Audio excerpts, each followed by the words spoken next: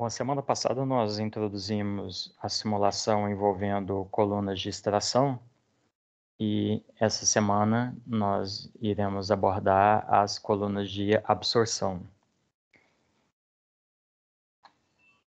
Quando nós falamos em absorção, então, nós estamos falando, obviamente, de absorção gasosa e a absorção de, de gases em, em, processos né, é um, uma operação unitária na qual geralmente a gente quer separar um gás de outro. Geralmente, não exclusivamente, mas na maior parte dos casos, é um gás que está presente em pequena concentração no outro gás, e esse gás de pequena concentração, em geral, um poluente ou uma substância que a gente deseja remover ali da mistura gasosa. Por exemplo, SO2 em pequena quantidade em ar, ou acetona em pequena quantidade em ar. Então, para para fins de liberação, por exemplo, para a atmosfera, é desejável que esses gases que podem ser poluentes, né, no caso da acetona ou SO2, eles sejam removidos. E uma maneira de fazer isso é através da absorção, que é passar esse gás em contracorrente com um líquido que tem uma capacidade, então, de fazer a absorção. A operação inversa chama-se desabsorção, ou stripping, ou desorption em, em inglês. E a, o fenômeno básico que está por trás da absorção, obviamente, é a transferência de massa. Essa transferência de massa pode ser uma transferência de massa simples ou uma transferência de massa seguida por uma reação, dependendo do, do tipo de, de gás que vai ser removido e, e do líquido de absorção. O componente que é transferido de uma fase para outra é designado de soluto. Então, por exemplo, se eu tenho uma pequena quantidade de acetona em ar, e eu desejo limpar essa acetona utilizando água como o, o solvente, então a acetona vai ser o soluto e a água vai ser o, o solvente. E, como eu disse, então é uma operação de grande importância na, na indústria, dentre outras questões, para que sejam atingidos requisitos em termos ambientais. Um outro exemplo é a absorção de CO2, né, já que CO2 é um gás causador do, do efeito estufa, né, utilizando aminas e através então da utilização desse soluto consegue do, desse solvente consegue se retirar o, o soluto da mistura. Nessa tabela aqui nós temos alguns processos típicos, então aqui então nós temos diversos solutos então, são substâncias geralmente presentes em pequenas quantidades numa corrente gasosa, e aqui os principais solventes utilizados ou absorventes. Né? Então, a água tem uma ampla utilização, né? tanto nesse grupo aqui quanto aqui, ou soluções aquosas, mas aqui já é uma solução aquosa básica, né? utilizando soda cáustica. E quando a gente quer fazer a remoção de substâncias orgânicas, principalmente hidrocarbonetos, então geralmente são utilizados outros hidrocarbonetos para fazer então a, a, absorção. Nesse primeiro grupo aqui nós temos então apenas um fenômeno de transferência de massa envolvido, então a gente fala que é a absorção apenas física. E no segundo grupo aqui a gente tem a absorção, é, como fenômeno de transferência de massa seguido de reação química. Essa reação pode ser irreversível, dependendo da combinação solvente-soluto, ou reversível, que é o caso, por exemplo, de remoção de CO2 utilizando aminas, daí vai ter uma etapa seguinte de recuperação da, da amina, que fica em circuito fechado, justamente porque se trata de uma reação reversível. O que nós vamos abordar em termos de simulação no coco é apenas a absorção como fenômeno físico, já que a absorção envolvendo reação química já é um, uma simulação bem mais complexa e está é, além do, dos objetivos aqui nessa nossa disciplina. Então, é, como que se processa a, absorção? Né? Em, em linhas gerais, quando a absorção é um fenômeno, então, é, reversível, tanto reação química quanto é, físico, teremos uma primeira coluna que vai ser a coluna de absorção propriamente dita.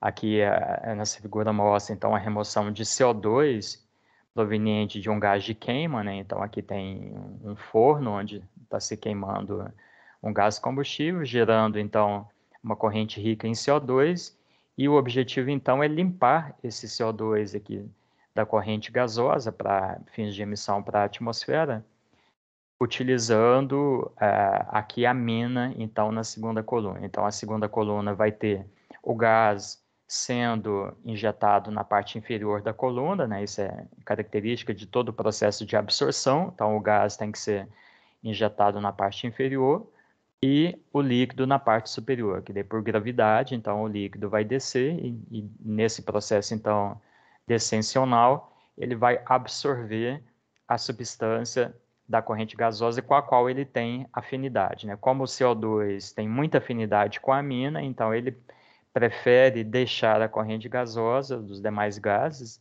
da combustão e se ligar à amina, que sai então nessa corrente aqui rica em amina.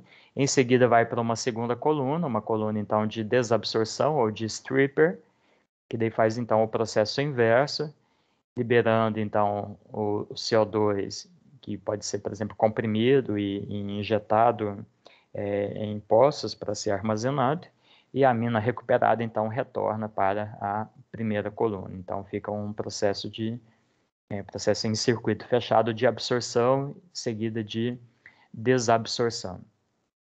Então, em termos de simulação, a termodinâmica vai nos prover o quê? Então, aqui a gente não tem mais o equilíbrio líquido-vapor, que era, que era o fenômeno mais importante na destilação, nem o equilíbrio líquido-líquido, que era o fenômeno mais importante na decantação de duas misturas líquidas imissíveis ou na extração líquido-líquido. Aqui a gente vai ter qual fenômeno? É o fenômeno de equilíbrio do gás dissolvido no líquido, que é dado então por essa, por exemplo, por essa curva aqui em azul ou nessa daqui, no caso então de absorção e no caso de desabsorção. Então o modelo termodinâmico vai ter como finalidade prever essa curva de equilíbrio aqui do gás dissolvido no líquido. E aqui em vermelho está a, a curva operacional e como aprendemos lá em operações unitárias, né, método gráfico, então semelhante ao método de McCabe-Thiele, vai ser desenhado aqui para determinar a quantia de estágios na coluna. Então, como prever esse, essa linha de é, essa curva né, do equilíbrio do gás dissolvido no líquido? Né? Então, detalhando um pouco mais a termodinâmica aqui desse é, processo. Primeiramente, nós temos a relação entre temperatura e pressão. Essa é uma informação muito importante com relação à absorção. Em geral, então, em geral, não, não significa que é 100% dos casos, mas é a maioria absoluta dos casos. Quanto menor a temperatura da coluna e quanto maior a pressão na coluna, melhor é o processo de absorção. A pressão é bastante intuitivo, né? Então, quanto mais a gente pressurizar o sistema, mais o gás vai se dissolver no líquido. E a temperatura não é tão intuitivo, mas é um, uma experiência que a gente tem bastante presente no nosso dia a dia. Né? Basta pegarmos, por exemplo, um, é um frasco de refrigerante ou qualquer outra bebida que tem gás dissolvido no líquido e abrir esse frasco à temperatura ambiente ou numa temperatura baixa, estando bem refrigerado. E a gente sabe experimentalmente do nosso dia a dia que quanto maior a temperatura desse, desse frasco, maior vai ser a liberação de gás. Né? Então, quanto menor a temperatura, melhor é a absorção. Quando nós temos soluções aquosas ácidas, então soluções aquosas contendo, por exemplo, NH3, H2S, CO2, etc., ou soluções aquosas envolvendo aminas, é necessário a utilização de modelos especiais para esse tipo de mistura aqui e esses modelos não estão disponíveis no Coco Kensep. É outros simuladores, como por exemplo o HiSys e o Aspen, há módulos, então, especiais para simulação desse tipo de processo aqui, que geralmente esses módulos são comprados à parte do simulador. Então, a gente não vai abordar nenhum caso de soluções ácidas, aquosas ácidas, nem aquosas com aminas, porque os modelos termodinâmicos convencionais, que a gente tem Pen Robson, Hedlichkong, os modelos de atividade convencionais não são capazes de prever a termodinâmica desse tipo de mistura aqui, ou até prever, mas com resultados extremamente ruins, ou seja, é, resultados que não têm relevância nenhuma. Então, tirando esse grupo aqui, que não é possível de simular no coco, daí nós temos as duas situações em que é possível simular no coco. A primeira situação é para espécies gasosas condensáveis e a segunda situação para espécies gasosas não condensáveis. O que quer dizer uma espécie gasosa condensável? Que ela se condensa na temperatura e pressão na ordem de grandeza do processo. Por exemplo, acetona. Então, acetona, é, aí em torno de é, temperatura ambiente ou pressão ambiente, ela é capaz de se condensar. Então, a gente vai falar que é uma espécie gasosa condensável. Nesse caso, então vai ser, por exemplo, acetona, etanol, etc. Então, toda substância que é capaz de condensar em temperaturas aí na ordem de grandeza da, da, das temperaturas e pressões envolvidas no processo ou na simulação. Nesse caso, então, a gente pode usar a lei de Raoult, se a gente for considerar então a mistura ideal, ou a lei de Raoult modificada, no caso da cetona é mais adequado, para sistemas líquidos não ideais. Então, o que, que é a lei de Raoult modificada, né? se a gente recordar da termodinâmica? A lei de Raoult é, é, é a situação, então, que a gente considera para a fase vapor gás ideal e para a fase líquida usa, então, o modelo de coeficiente de atividade. No coco, a lei de Raoult modificada está presente no modelo chamado Dequema. Já já eu mostro onde que ele está é, presente. Então, quando a gente escolhe o modelo Dequema, automaticamente já equivale à lei de Raoult modificada. E em ambos os casos, tanto considerando ambas as fases ideais, que seria a lei de Raoult, a, a lei de Raoult modificada, que é apenas a fase líquida é não ideal, a gente tem que tomar bastante cuidado com o modelo de pressão de vapor utilizado, porque ele é, o, é que tem bastante impacto. Né? A gente vê na própria equação aqui, ó, no cálculo do PSAT, né, da temperatura de saturação, que vem então do modelo de pressão de vapor, é um, junto na, na lei de Raoult modificado, o PSAT junto com o gama, são as duas informações que vão definir é, termodinamicamente aqui a questão do equilíbrio. No caso da lei de Raoult, apenas a pressão de saturação. Para espécies gasosas não condensáveis, o que, que é uma espécie gasosa não condensável? Então, geralmente são espécies que têm baixo peso molecular e cuja temperatura crítica é menor do que a temperatura do sistema. Então, daí a gente tem aí, que são vários exemplos de espécies gasosas não condensáveis, né? É, por exemplo, oxigênio, é, nitrogênio, hidrogênio, etc., gases leves. Nesse caso, o que, que acontece? O gás se dissolve no líquido, ele não condensa. Então, aqui a gente tem um fenômeno de condensação e aqui a gente tem um, um fenômeno de dissolução.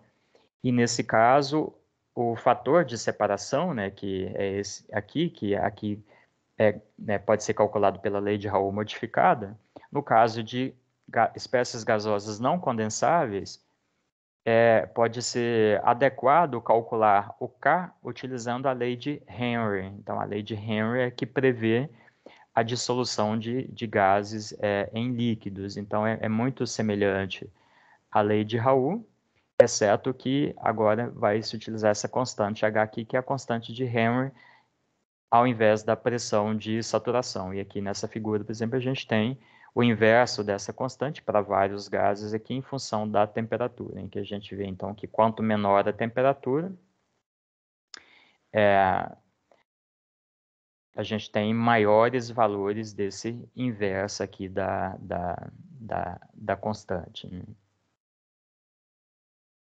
E no, no, no, coco, então, como que a gente junta essas, é, junta essas informações? já já eu mostro a, a simulação aqui no, no Coco. É, esse, essa simulação, então, vai ser utilizando esse, esse exemplo aqui, em que a gente tem uma corrente de acetona e ar, e um pouquinho de água também, então, aí uma, uma corrente principalmente de nitrogênio e oxigênio, né, ar com um pouquinho de argônio, né, mais ou menos aí na, na, na concentração atmosférica, um pouquinho de vapor d'água e acetona. E o objetivo aqui, então, é remover a acetona dessa corrente aqui para liberar os gases para a atmosfera.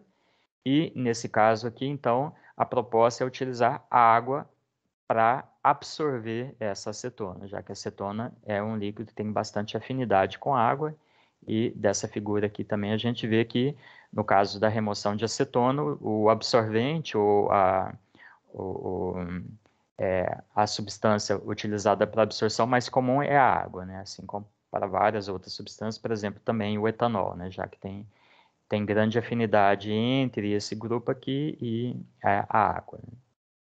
Então, a, a ideia é utilizar a água como fluido de absorção e na corrente então de baixa aqui, na, na, saída líquida vai sair, se espera né, que saia majoritariamente água e acetona, um pouquinho de oxigênio e nitrogênio dissolvido na água, justamente pela, pela lei de Henry aqui que a gente viu, que as, as espécies gasosas não condensáveis, né, que têm baixo peso molecular, eles podem se dissolver em líquidos. Então a gente espera que haja uma certa dissolução do oxigênio e nitrogênio na água, mas que seja pouca, né?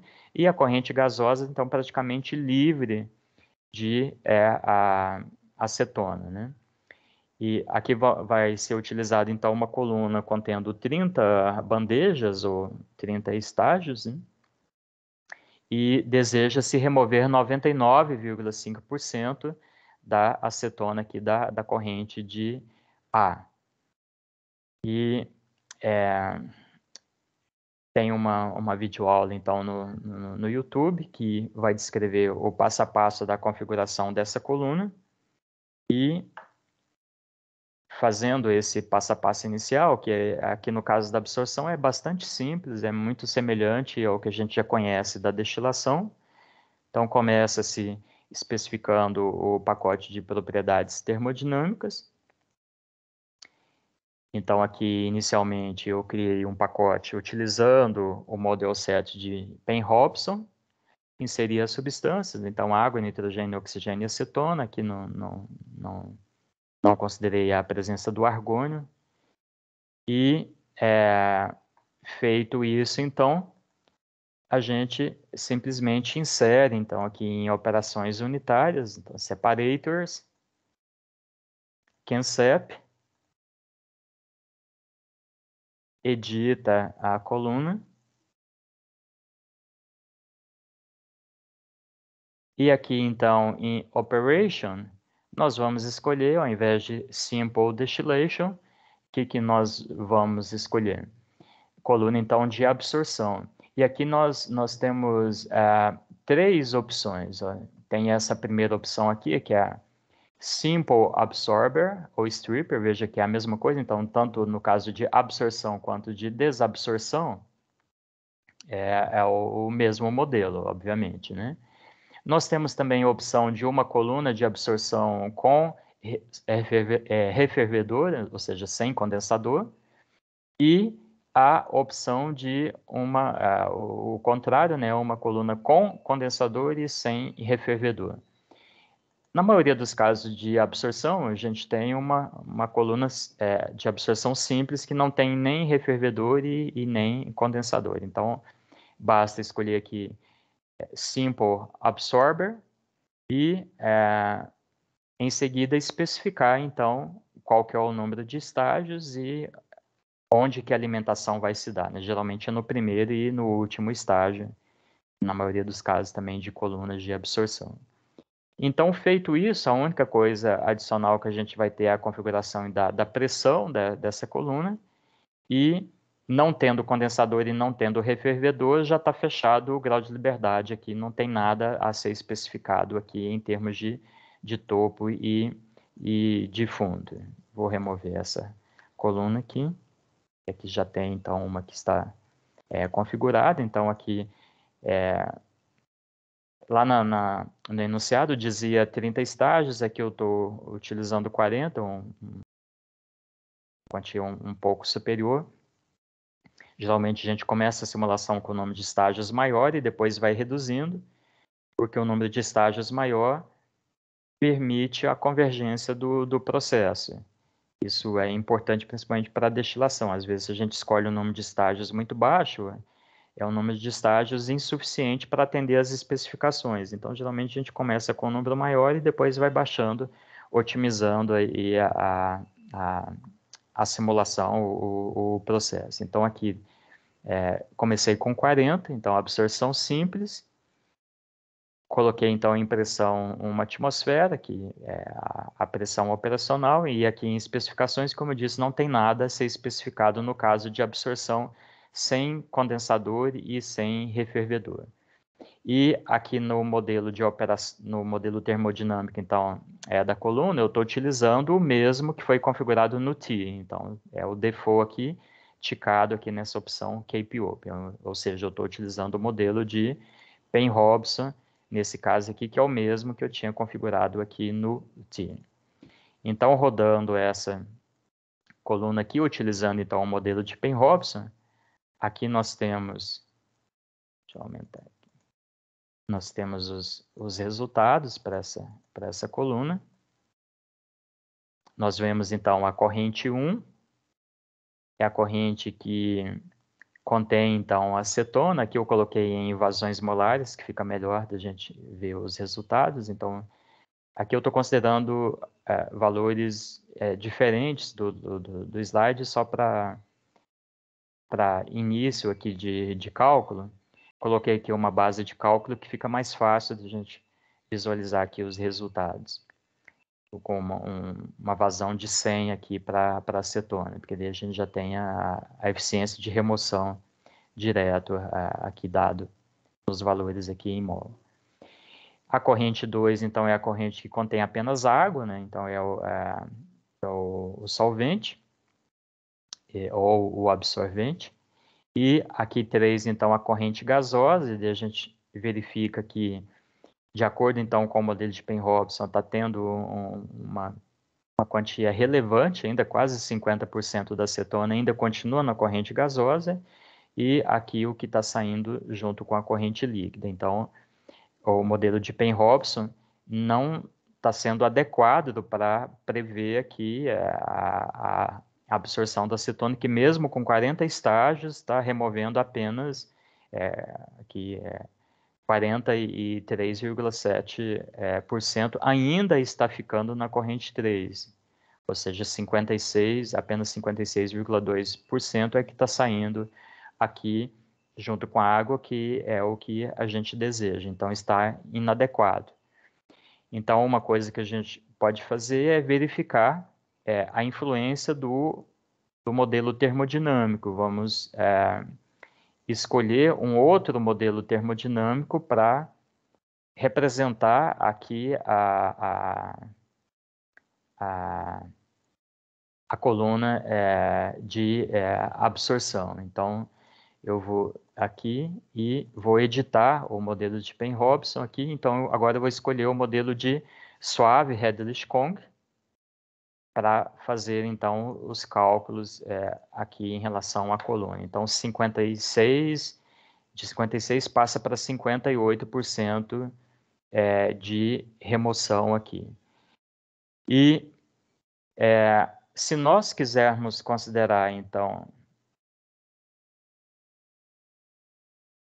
essa informação aqui, ó, porque até o momento a gente está utilizando então o modelo ou de Penn-Robson ou de Swab Headless Conk.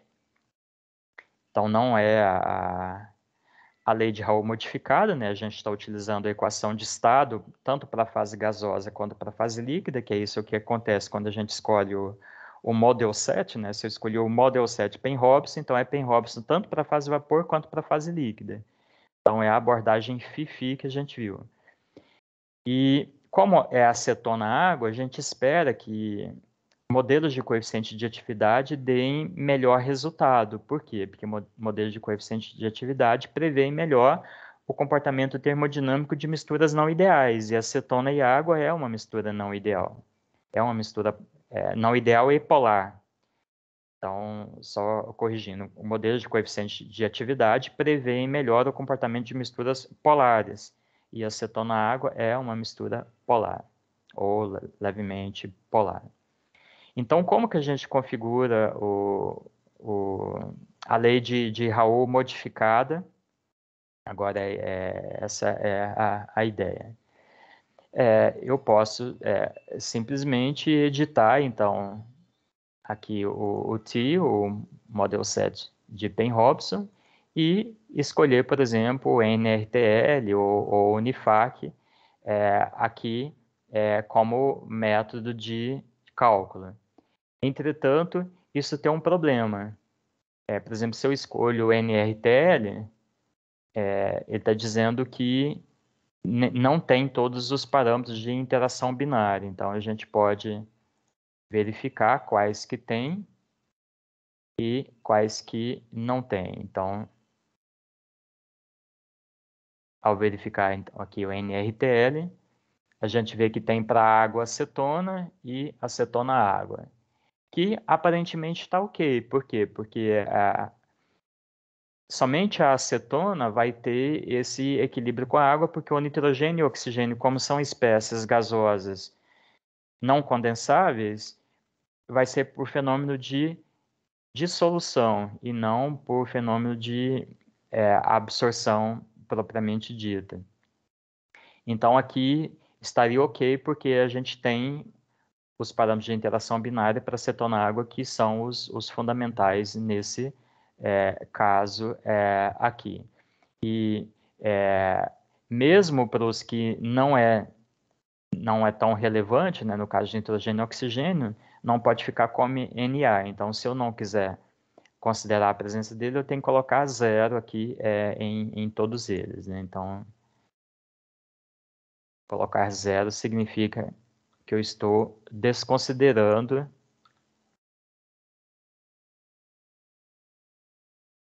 os coeficientes de interação binária para essas substâncias aqui.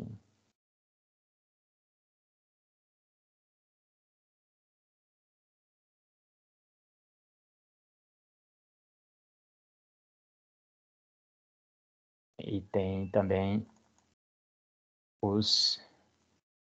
Ah, falta um aqui.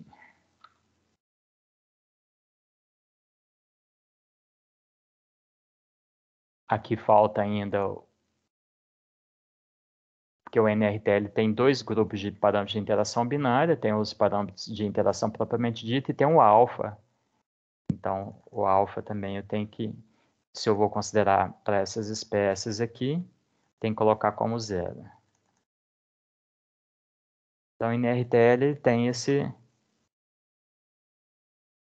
esse detalhe. Se você não fornecer todos os parâmetros de interação binária, não está é, ok. O que mais que ainda necessita? A dependência com a temperatura, então também não tem para nenhum. Então são o NRTL tem dois grupos de parâmetros, que são os que a gente ajustou anteriormente, mas essa aqui dependência com a temperatura.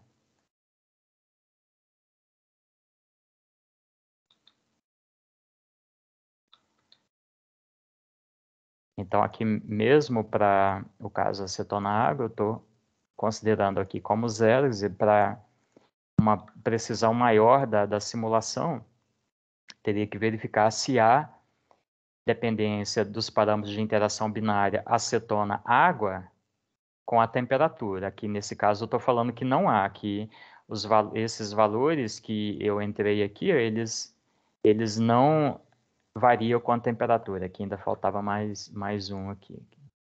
Então aqui eu estou assumindo que esses parâmetros de interação binária são constantes com a temperatura quando eu informei aqui, ó, na dependência com a temperatura como sendo zero.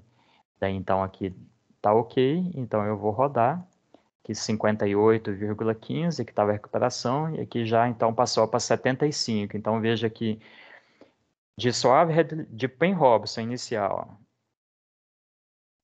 para suave Headless E para um modelo é, utilizando a lei de Raul modificada e o NRTL já, já, tem uma, já teve uma grande diferença, passando de 64% de recuperação, no primeiro caso, para 75% de recuperação, simplesmente mudando o modelo termodinâmico. Então, aqui dá para a gente perceber né, a grande influência do modelo termodinâmico na absorção, e é, é isso é um, um fato.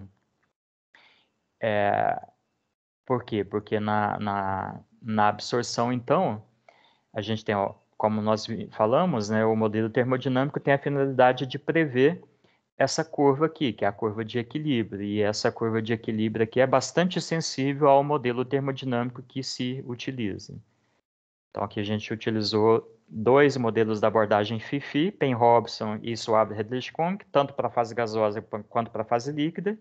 E agora, por último, a lei de Raul modificada, que considera, então, para a fase vapor ideal e para a fase líquida o cálculo com coeficiente de atividade, e nesse caso nós utilizamos o coeficiente de atividade, então o NRTL. E como que nós consideramos essa, essa observação aqui, ó, que para as espécies gasosas não condensáveis, utilizarmos a lei de Henry. Então, até o momento, a gente não viu aqui é, na, na configuração do T, vamos editar ele aqui novamente, né? não tem, não aparece aqui é, a opção de nós utilizarmos a lei de Henry. Aparece apenas o modelo para fase vapor, está aqui, ó, gás ideal, para fase líquida, então NRTL, ok? Um, um, é, mas não tem a opção de, de, de escolher a, usar a lei de Henry apenas para as espécies não condensáveis, então apenas para o oxigênio e para o nitrogênio em água. Então não tem essa opção aqui. E é, lembremos que a gente falou aqui que o, o, modelo de pressão de vapor ó, é um modelo que tem bastante influência na, na, nos cálculos da absorção. Então, é o modelo para calcular aqui o PSAT. Então, é aqui justamente nesse, nesse ponto aqui, ó, nessa aba aqui do, do T, é que a gente deve atentar para é, essa questão. É primeiro, aqui a gente está utilizando ó, o modelo de Dequema, que é o, o, é o recomendável, então a lei de Raul modificada, né, utiliza o modelo de Dequema, então aqui já está, Dequema, se eu não quiser usar o modelo de Dequema, então eu posso usar o modelo completo, ou um, um, um outro, outra alternativa é o modelo de Proud's, que estão todos descritos, devidamente descritos no, no manual. Então, além aqui de escolher Dequema, mas isso já foi default, quando eu escolho aqui o modelo 7 NRTL, o default já é colocar então o modelo como Dequema. Então, o outro ponto que a gente deve tomar bastante atenção é aqui no cálculo da pressão de vapor. Nesse caso aqui, ela está definida para o componente. E é, o, o que, que significa é isso, a pressão de vapor definida para é, o, o, componente? Então, vamos dar um OK aqui. É, aqui, ó, quando eu retorno aqui na aba é, onde eu tenho a opção de editar o modelo termodinâmico, então eu tenho aqui é, a lista é, dos componentes, então são esses quatro componentes que a gente tinha é, adicionado.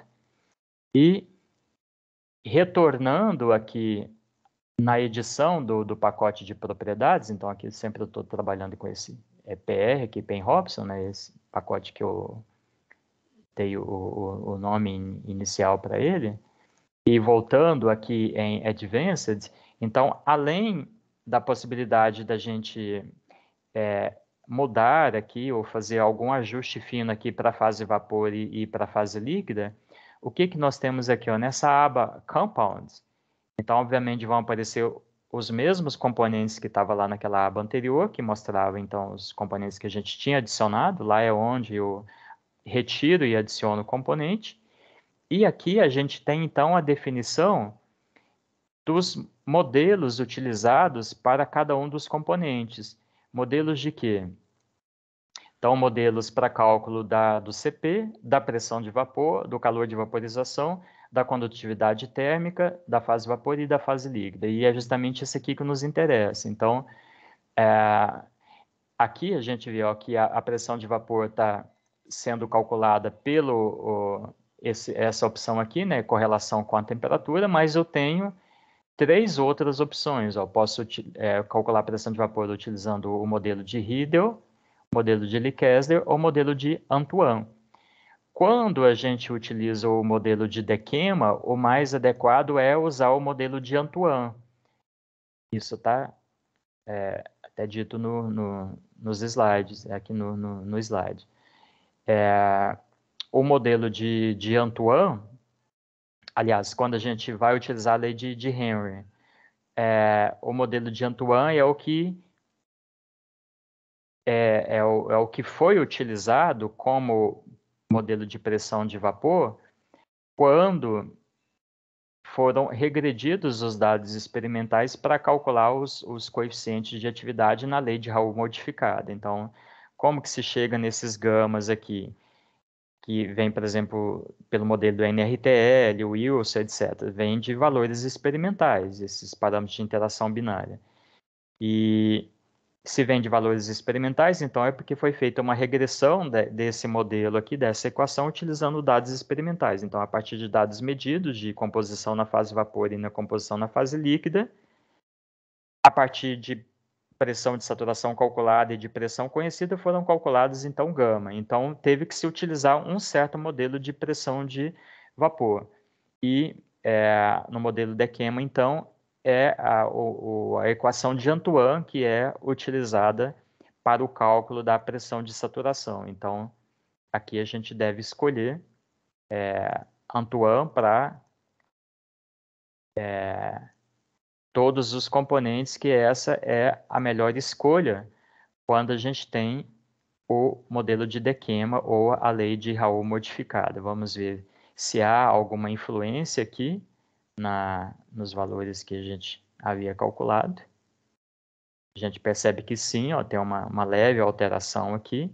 Então, esse é o, o, resultado mais adequado do ponto de vista termodinâmico, que a gente está utilizando o modelo de Dequema com o PSAT calculado pela lei de Antoine. Mas e a pergunta, e a, a lei de Henry, onde que eu escolho? Então, até o momento, a gente não mostrou no COCO como utilizar a lei de Henry. Se eu desejo, então, calcular então para as espécies gasosas não condensáveis é, usando a lei de Henry e não usando a equação lei de Raoult ou lei de Raoult modificada. Então, onde que isso é feito? Então, essa opção de utilização da lei de Henry é o que está mostrado nesse primeiro exemplo aqui. Então, eu fiz a configuração normal aqui, a coluna de absorção, idêntico aqui ao outro caso, só que agora, aqui nessa primeira aba aqui, o Cape Up, eu vou desticar, ou seja, eu vou desmarcar essa opção aqui, ou seja, agora a parte termodinâmica não está sendo mais calculada pelo T, e eu tenho que configurar aqui no KINCEP a parte termodinâmica. A gente já tinha visto na, isso na aula passada, porque para simular um decantador ou uma coluna de extração líquido-líquido, necessariamente a gente tem que fazer isso. Por quê? Porque só quando eu dou aqui a opção de escolher o modelo termodinâmico no KINCEP é que eu tenho a opção, no caso lá do equilíbrio líquido-líquido, né, só para a gente recordar, a opção de escolher aqui, ó, líquido-líquido, o, o gama para equilíbrio líquido-líquido. No nosso caso aqui, para utilizar a lei de Henry, a gente vai fazer uso dessa outra opção aqui. Então, falar que é o modelo Dequema. E escolhendo então o modelo Dequema, o que, que é o modelo Dequema? Então, o modelo Dequema é a lei de Raul modificada, e é o que a gente já tinha acabado de, de ver. Então, eu estou utilizando a lei de Raul aqui modificada, então eu tenho que escolher um modelo para o cálculo do gama, nesse caso aqui estou escolhendo o NRTL, e aqui também para a pressão de vapor, então Antoine, para ficar aqui, como nós vimos, em acordo, Antoine em acordo com o modelo Dequema. A entalpia aqui ela não vai fazer tanta, tanta diferença, então você pode escolher sem cálculo de entalpia, ou ideal, ou o modelo mais completo entalpia de excesso. E até aqui tudo bem, até aqui está igual, ainda não apareceu então a, a, a, utilização da lei de Henry. Se eu quero então que o oxigênio e o nitrogênio sejam calculados usando a lei de Henry, agora eu vou então ticar essa opção aqui. Ó. O default é aparecer dessa forma aqui, quando você abre o CanCEP, esse é o default. Então, ticando aqui, ó, você tem a opção então de escolher quais são os componentes cujo fator de separação vai ser calculado utilizando a lei de Henry e não o NRTL, não a lei de Raoult modificada. E aqui eu escolhi, então, o que eu quero que o nitrogênio e o oxigênio, então apenas esses dois, o K desses dois, então o K desses dois, o do oxigênio e nitrogênio, vai ser calculado utilizando a lei de Henry, utilizando aqui o H, e não a lei de Raoult modificada. Veja que tanto a lei de Raoult modificada quanto a lei de Henry é para o cálculo do K, é para o, o cálculo aqui do fator de separação. Então aqui, ó, é, em resumo aqui, quando eu crio aqui a coluna, se eu desseleciono aqui essa opção aqui, Cape Open, eu tenho então a liberdade aqui de escolher lei de Raoult modificada para todos os componentes exceto aqueles que eu escolhi aqui em lei de Henry, que o K vai ser calculado para, é, usando a lei de Henry. Então, aqui eu escolhi então oxigênio e nitrogênio, vão ser calculados utilizando a lei de Henry. E aqui nessa, embaixo, é, se não aparecer os valores aqui, você dá um, um load é, aqui e manda carregar aqui, ó, Henry Law. Então, daí ele vai carregar aqui os, os, os parâmetros né, que vai, vão permitir o cálculo de quê? Desse H aqui. Ó. Então, esses são os, os parâmetros aqui do oxigênio e nitrogênio. Usando como solvente a água, aqui também você escolhe qual que é o solvente, nesse caso aqui é a água, por quê? Porque a gente vai passar água em contracorrente com o ar, e a gente espera que uma certa quantidade de oxigênio e nitrogênio vão se dissolver na água, que é o solvente, então. Então, aqui você deve escolher o gás não condensável juntamente com o solvente, aqui são os parâmetros que já estão no, no banco de dados, é, daqui do CANCEP, para o cálculo, então, do H da constante de Henry. E é, o NRTL, que aqui estão os parâmetros de interação binária, para os demais componentes, no caso, então, a acetona. Por quê? Porque a gente tem água, nitrogênio, oxigênio e acetona. Se eu estou falando que o nitrogênio e o oxigênio vão ser calculados pela lei de Henry, o NRTL vai ser usado só para o cálculo, então, da acetona. Então, por isso que eu nem preciso me preocupar aqui ó, com os demais coeficientes de interação binária para os, os outros componentes. Por quê? Porque a lei de, de Raoult modificada usando então o modelo de Ekema, vai ser usado só para o cálculo do K acetona água. Então, daí sim, eu configurei a coluna junto aqui com o valor da, da pressão, né? E não tem mais nada a ser especificado aqui. Se fosse uma, uma absorção com reação, eu teria que agora que preencher essa aba aqui.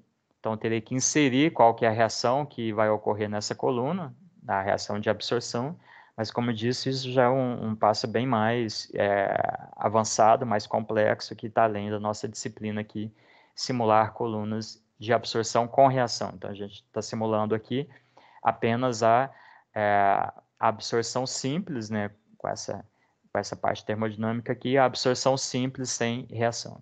Então, configurei lei de Raoult modificada para acetona água e lei de Henry para os gases leves não condensáveis, nitrogênio e oxigênio, é, em água. E assim, então, eu, eu posso salvar. E aqui, quando eu, eu rodar, então, essa primeira coluna aqui está nessa configuração que nós acabamos de fazer. Então, aqui os resultados. Então, a gente pode comparar esses resultados com esse de cá, né?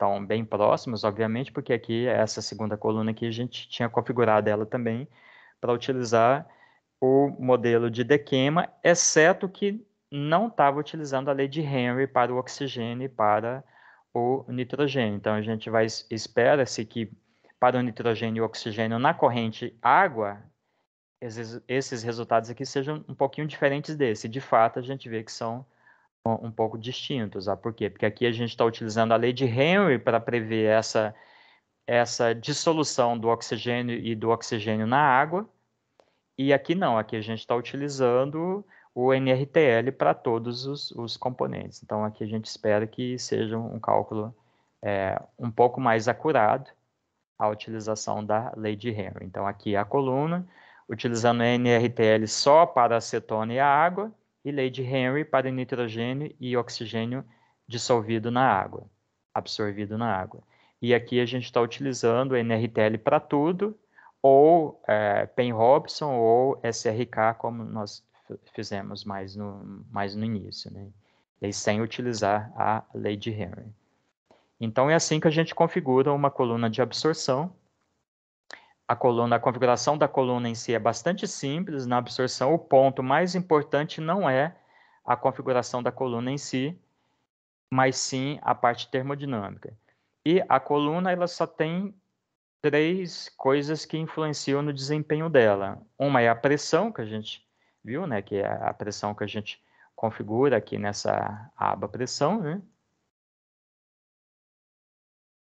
Qual que é a outra coisa que vai influenciar aqui no desempenho da absorção? A vazão do fluido de absorção, obviamente, né?